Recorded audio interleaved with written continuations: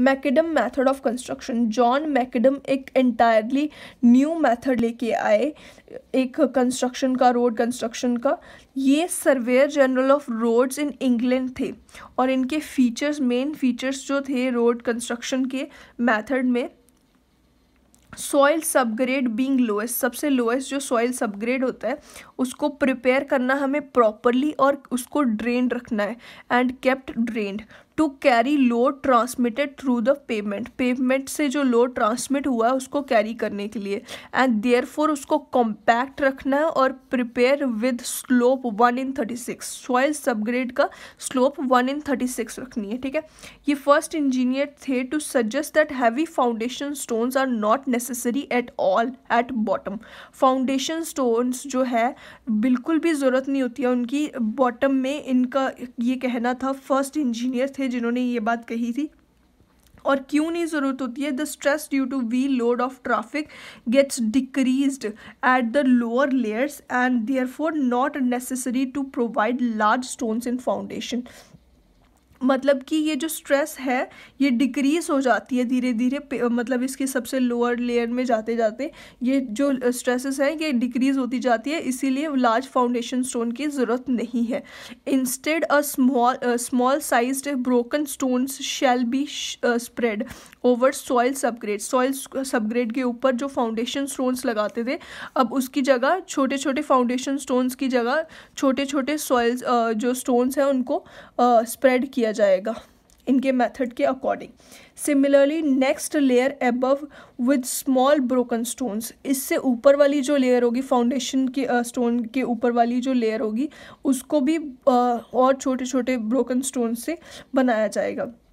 This technique served as carriage way in a better way due to improved road dispersion characteristics ये technique एक तरह से बड़ी अच्छी साबित हुई जो कि यूज़ होती है।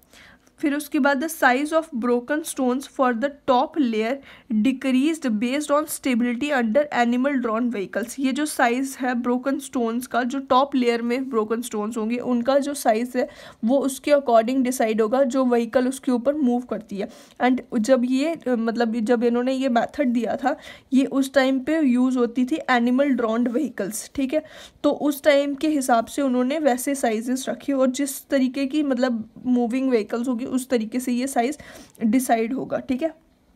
Pavement surfaces surface was also prepared with a cross slope of अब इन्होंने सब ग्रेड का स्लोप रखा था वन इन थर्टी सिक्स वैसे ही इन्होंने पेवमेंट का स्लोप भी रखा वन इन थर्टी सिक्स और ये क्यों रखा? फॉर ड्रेनेज ठीक है? और ये पहला मेथड था जो कि एक तरह से साइंटिफिक अप्रोच थी जो इन्होंने यूज़ की थी। कंस्ट्रक्शन स्टेप्स सबग्रेड को कॉम्पैक्ट करना है। इसमें फ़र्स्ट स्टेप ये है सबग्रेड को कॉम्पैक्ट करना है और इसमें आ, इसको क्रॉस ग्लोब जो होगी वन इन थर्टी सिक्स दी जाएगी।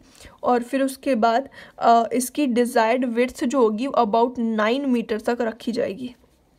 इसके बाद broken stones of strong variety जो है उसको पास करके फाइव सेंटीमीटर सीव से पास करेंगे ब्रोकन स्टोन्स को और उनको लेके कॉम्पैक्ट करना है to a thickness of ten centimetre इसके बाद वाली लेयर में, ठीक है?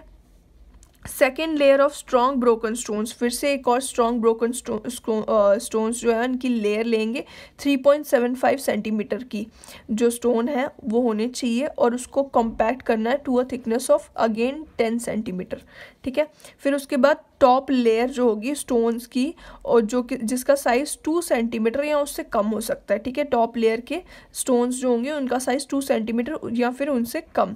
और उसको कंपैक्ट करना है to a thickness of five centimetre यहाँ पे टेन टेन था, उसके बाद फाइव सेंटीमीटर तक इसको कंपैक्ट करना है।